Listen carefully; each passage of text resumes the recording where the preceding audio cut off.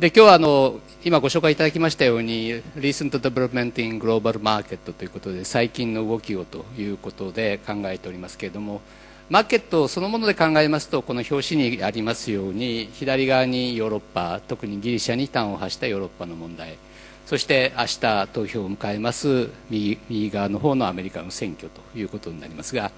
ただ我々が生活しているアジアの中では実はもう一つ重要な出来事が今週ありまして8日の日から中国で共産党の大会が始まると。もう賑やかすぎるアメリカの選挙と逆に静かすぎる中国の政権交代というこのハイライトが、まあ、我々の政治そして経済、まあ、ひいてはマーケットに影響を与えていくということを、まあ、全体として外観をさせていただければというふうに思っています。で最初に金融市場の話を、まあ、中心にやっていくつもりでございますのでそういう意味で過去2 3 0年少し遡って見ていこうというのがこの 2枚目のパワーポイントですけれども、まあ、過去においてどういう金融危機があったかということですが極めて大きなものを挙げると実は10年ごとに何らかのトラブルを起こしているということが分かります。一番上がブラックマンデー1987年。これ1日の間に株価が15%あるいは20%という急激な落ち込みをしたわけであります。でその後にジャンクボンドとかメキシコの問題がありましたけれども次に大きかったのがアジアの通貨危機そしてニューヨークでの LTCM の破綻そしてここに書いてありませんけれどもブラジルそしてロシアという問題が起こった。これが1997年だったわけです。ででその次に会計の問題等で若干が問題が起こりましたのはドットコム、エンロンということですけれども次にまた10年後の2007年にサブプライムの問題が起こりでそれを契機としてアメリカでリーマンショックそして2年後にはこれがギリシャの問題に端を発してヨーロッパで問題を起こしているという状況になるわけですが見といていただきたいのは実はそれぞれの金融危機の問題がどのぐらいの期間を続いたかということでこれは例えば1と書いてあるのは3ヶ月90日間続いた。それから右に書いてありますのはどのぐらいの被害を受けたかと。でこの被害は金融機関が何期分の利益を失ったかということですからブラックマンデーで言いますと4期分ということは丸々1年分の利益を失うぐらいの損失があったということであります。でそれで見ていただくと分かるようにブラックマンデーとかそれから10年後のアジア危機というのは duration もそんなに長くありませんしそれから被害の大きさも実は大したことがなかったわけであります。でそれに比べて下の2つを見ていただきますとサブプライムでいきますと期間が10期。まだ終わってないかもしれないという意味でまだクエスチョンマークがついてるわけですがそういう意味では2年半から3年。で被害もそれと同じぐらいのものが消え消えているわけです。で最後のところのこのギリシャそしてユーロの問題というのはもうすでに4年ぐらいは最低かかるだろうと言われておりますし銀行金融機関の損失は5年分を超えるだろうということでだんだん規模が大きくなってきています。でこれはあの経済学者ではなくて心理学者に言わせると、まあ、割合分かりやすいんで悪い記憶っていうのは5年でなくなると。でもいい記憶は10年残ってるんでこりごりした記憶が5年でなくなった後の残りの5年でみんなバカなことをやって10年後にまたトラブルを迎えるということなんで実は2017年とはなかなか大変だろうという気もするんですがただ一方でこの最後のギリシャのやつはまだ終わってませんのでこれから5年経つと大体5年と10年と同じサイクルになるんで2017年はさほどひどいことが起こらなくても済むのかなというのが最近のあの見方になっているというところでございます。でそういう意味で言いますと前回のサブプライムの問題の時に被害を受けたものが2つあるというのがこの漫画の趣旨でありまして1つはアメリカのドルというのが急激に悪くなり始めたきっかけであります。もともと世界中がドルを持ちすぎている。そしてドルアメリカの経済のウエイトが小さくなっていく中でドルが過大評価だなっていうことはみんな思っていたわけでありますがそれに最後にまあ、後押しをしたのがこのサブプライムでありリーマンショックでドルの価値が大きく損なっているということです。それからもう一つは下の方でその洪水に飲み込まれているスーツを着た人たちがいるんですが面白いのは彼らが手に持っているあ失礼。手に持っているカバンには CFO と書いてあるんですね。経営責任者じゃなくて財務責任者がここに飲み込まれているわけでいかにリーマンショックというのがその経済から起こった問題ではなくて金融から起こった問題それが各企業の財務をヒットしそしてが全体としての経済活動を悪くしていったということで通常の経済の混乱のパターンと逆向きに動いているということをこれが意味しているわけであります。でその時には結局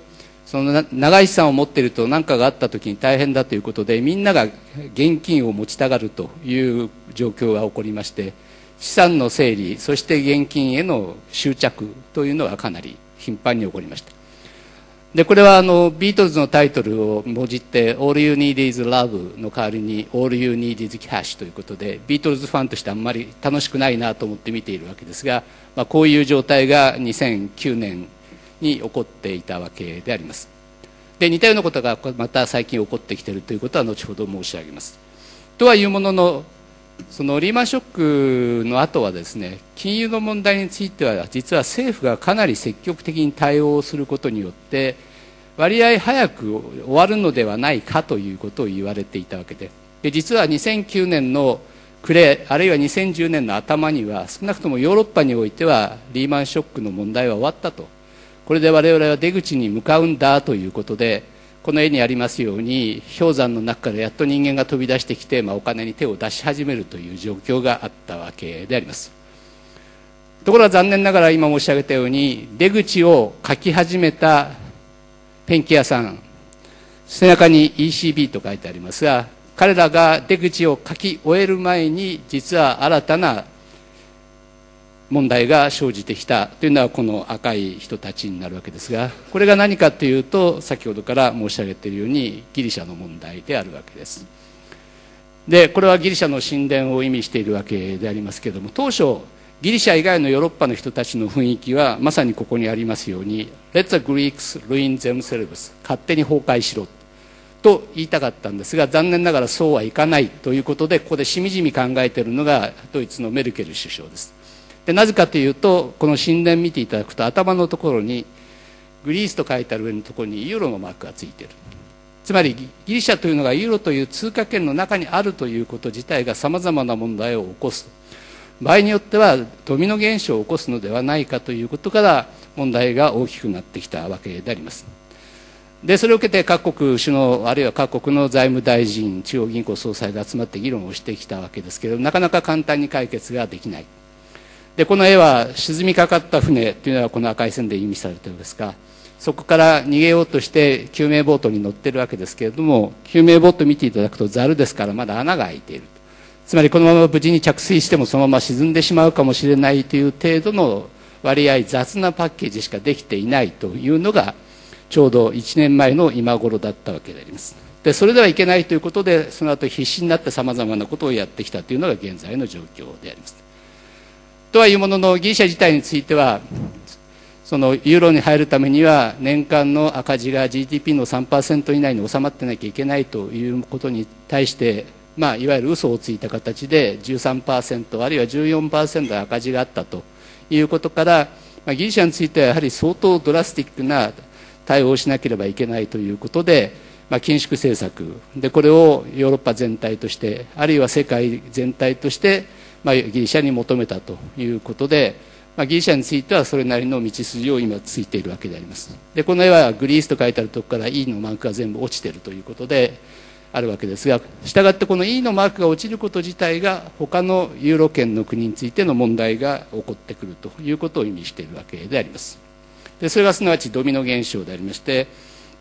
一番こちらでギリシャの首相がみんなでこの円盤を投げる像を支えてくれてありがとうと言ってるんですが特段円盤の像を守ってるわけではなくてその隣にダビデイタリアそしてセルバンテスのような格好をしたスペインそしてポルトガルフランスなどなどとそこをつながっていくというこのドミノ現象をみんなが心配したわけであります。でご承知のように European Union は27カ国あるわけですがユーロという通貨を共通にしているのは17カ国であります。でこの17カ国の GDP 全体を仮に100としたときに実はギリシャのシェアは2.5しかないわけであります。でその後話題になっておりましたアイルランドもあるいはポルトガルも大体1.8ぐらいということですので、まあ、これ全部足しても6%ぐらいの話なんで、まあ、残りの94%が健全であればこの1つの国あるいは3つの国を助けることは大して問題ではないんですがその後に出てきたのが実は大きな国ここにあります2つでイタリアとスペインでスペインが今の同じ数字で言いますと100に対して11%をスペインが持ちイタリアが16%を持っていると。ということになってもしこの5つの国が全部アウトということになりますと33%の国がアウトですからなかなか残りの 67%3 分の2の国が助けるのは大変だということでマーケットが非常にこう反応を厳しく押したということでかなり荒れてきたわけであります。しかしとりあえずギリシャについてはさまざ、まな政治的な紆余曲折がありましたけれども、まあ、当初よりは少し緩やかな年限を持って回復をしていこうということで再選挙の後に内閣できてでこれで今動いているわけでありますでこの漫画の趣旨は GPS 音ですから少なくとも今我々がどこにいるかは GPS で分かったと。それでレッツスタートと言ってるわけですがなかなかこのオンボロバスですからそう簡単に前に進めるかどうかよくわからない。しかもその燃料としてのユーロ自体も来るかどうかがよくわからないということで、まあ、前途多難ではありますけれども、まあ、とりあえずレッツスタートと言えるだけいい状態になってきているということであります。ただ問題は今申し上げたようにギリシャ自体がこのオンボロバスであるわけですけれどもそれと同時に周りの経済も必ずしも非常にうまくいってるわけではない。今年ヨーロッパ全体で言いますと多分平均でいうと0%成長ということになりまして非常にスローなわけです。ですからギリシャがこれからさまざまな復興をしていく中において周りの国がそれなりに経済が良ければ思ったよりは早く復興ができるわけでありますけれども周りが非常に緩やかな経済状況ですとそう簡単にはいきませんねというのがこの絵の意味するところでありましてまあ、これちょうどオリンピックの時に出た漫画でありますけれども用意ドンということですけどみんな走ってる人がカタツムリの上に乗ってますので先ほど申し上げましたようにこの1年あるいは12年13年14年と3年間ぐらいはヨーロッパ17カ国あるいは27カ国全体で言ってもゼロ成長ということになりますとなかなかその恩恵を受けてギリシャが回復するのには時間がかかるということは我々は覚悟しておかなければいけないということです。でそういう時に先ほど申し上げたように27カ国の European Union のうちユーロを使っているのは17カ国しかないとで使っていない10カ国の中で最も大きい国は皆さんご承知の通りにイギリス United Kingdom であるわけですけども彼らはもともとユーロという通貨を使うこと自体に対してかなり批判的であったわけでありましてつい今年の4月ぐらいにもキャメロンさんが我々は使わなくてよかったと公言したわけであります。ですからその時のイギリスの対応はもうユーロなんか持たないと。でここにあるようにもうユーロっていうのは新刊が外せない時限爆弾だともういつかはぶっ壊れるということを言っていたわけであります。しかしその後実はイギリスも今対応を変えてきているわけですが、まあ、その理由とその経過については後ほどまた申し上げたいというふうに思っております。でそういう中でユーロの問題特に先ほど申し上げたドミノ現象が何で起こってきているかということだけ若干ご説明をいたしますとヨーロッパを北の方の国と、まあ、南の方の国と上下に分けてみますと北の方の国は比較的低い金利がどっと続いておりますしそれから財政もまあまああまり赤字を出さずに来ているというところがあります。とはいうもののその世界全体の経済の伸びが2005、6年をピークとしてその後減速をしておるのであまり設備投資をするというほどの元気もないということから銀行に対する貸し出しの要請があまり来なかったということで比較的北の方にはお金が溜まってきている状態にあったわけです。でそれに対して南の方そのペリフェレルですから必ずしも南だけではなくて先ほどのアイルランドそれから南西それから南といくつかの国があるわけですがそこらの国では